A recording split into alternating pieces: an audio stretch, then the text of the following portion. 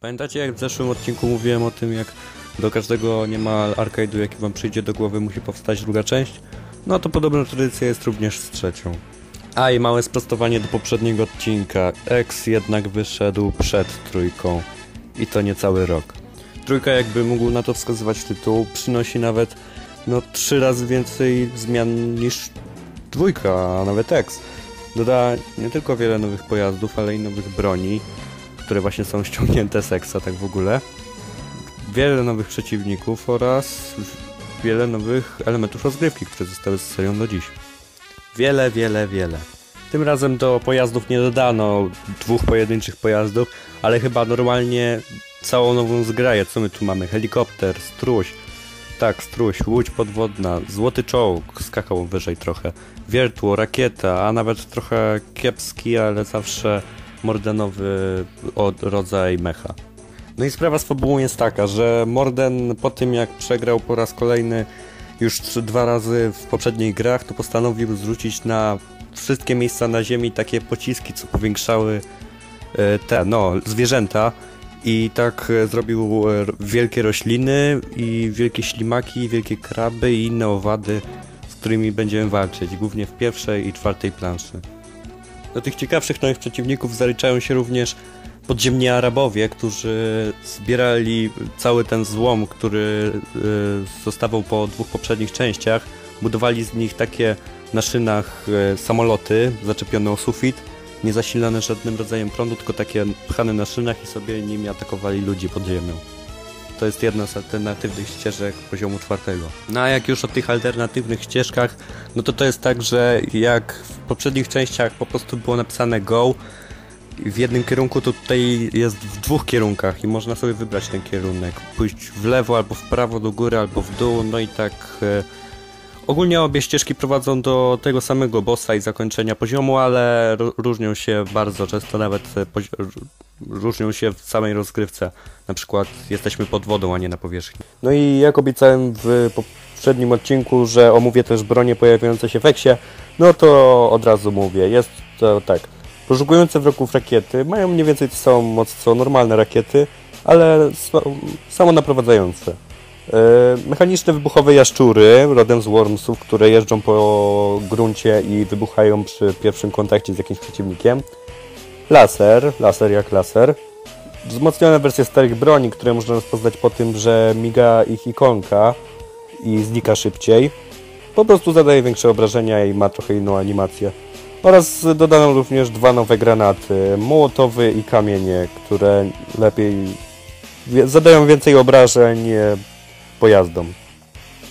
No i jak w zeszłym odcinku mówiłem o tym, jak to nie lubię dwójki, bo po prostu nie podobają mi się wprowadzone w niej zmiany, to trójka jest po, zaraz pojedyncze, oczywiście jedną z moich ulubionych gier z serii, bo po prostu tutaj wszystko jest spójne. Krabo, kraby wielkie i te wielkie latające owady pojawiają się tylko w jednym levelu, nie, nie wkurzają, nie, nie są trudni jacyś na maksa, chociaż trudni jednak są, ale nie, nie jacyś tak, za bardzo jak ci opcje z dwójki. Co prawda opcje też się pojawiają, ale tylko w jednym, w jednym y, tym levelu. No i też tam nie są jacyś przesadnie trudni. Dopiero końcówka gry, która już powinna być trudna, jest właśnie trudna.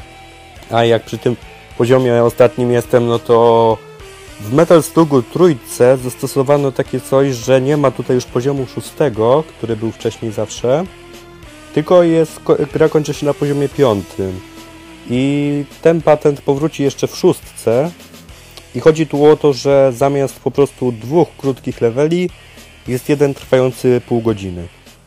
W ogóle to strasznie zróżnicowany ten level. Najpierw lecimy samolotem, potem nawalamy, walczymy z ostatnim bossem pierwszej części, lecimy w kosmos jakąś rakietą, potem jeszcze z buta do, dolatujemy do bazy obcych, zabijamy tam obcych. Kurde, dużo się dzieje w tym ostatnim poziomie. No i warto też zwrócić uwagę na soundtrack, który tym razem pasuje do sytuacji. Jest po prostu dobrze skomponowany i dobrze komponuje się z tym, co się dzieje na ekranie. Na przykład jak jest dżungla, to słychać jakieś tam bębenki młodzińskie i jest gites, bo jak są zombiaki, to słychać tam jakieś takie, wiecie, rodem ze starych horrorów, takie uuu, no to więc wszystko pasuje do siebie. No jak już o tym levelu z zombiakami, no to pojawiają tam się zombiaki oczywiście, jak już charakterystyczne dla levelu z zombiekami. I jak ten zombiak nas e, obrzyga, czy co to tam zrobi, to również zmieniamy się w zombiaka. No i tak jak przejana w mumie w poprzedniej części była, no tak delikatnie mówiąc, do bani, to w zombiaka jest fajnie się zmienić, bo zamiast granatów otrzymujemy wtedy takie mega żygnięcie, które normalnie rozwala wszystko, nie ma w sumie niczego, co by przetrwało to żygnięcie. Nawet boss z tego levelu ginie po chyba bodajże pięciu takich. No a bossowie w tej części oczywiście również są fajni. Powiedziałbym nawet, że najfajniejsi w całej serii. Mamy tutaj wielkiego kraba z doczepioną armatą, wielki mechaniczny robot, który strzela do nas laserami, którego błędnie nazwałem w jednym z poprzednich odcinków najtrudniejszych w historii, za co przepraszam. Oraz co tu jeszcze mamy? Wielkiego marsjańskiego przywódcę, który jest ostatnim bossem. Spada się z nim z tysiąca metrów w dół, z kosmosu. To jest dopiero fajny koncept.